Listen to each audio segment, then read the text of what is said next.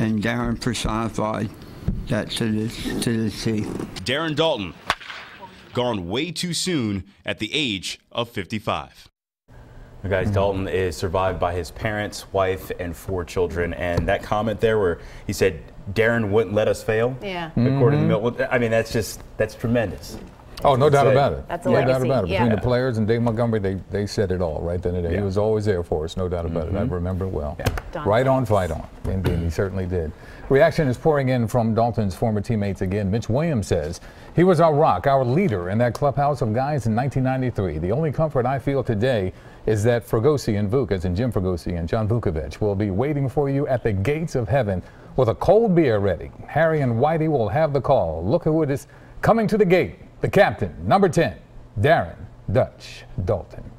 Lenny Dykstra shared his thoughts as well, saying the Philadelphia Phillies family and the world of baseball have lost a warrior. I played with several tough dudes in my career, but Dutch was the toughest. He was the unquestionable leader of our magical 1993 Phillies team that went from last to first, thereby energizing the city of Philadelphia.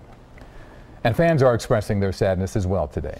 Many say Dutch made a lasting impression on Philadelphia.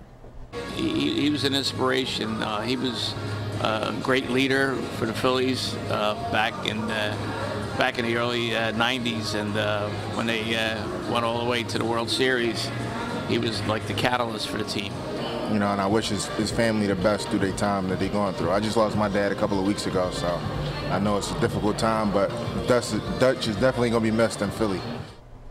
Other fans shared their thoughts on Facebook. Sharon Wiseman writes, This is the saddest post I've read in a while. He was legit, a fabulous guy and player. He was the reason many young girls started watching baseball with their dads and brothers. Number 10, thanks for the memories. May you rest in peace. David Marcosi had this to say on Facebook See you on the other side, Dutch. Betting the team up there could use a good catcher.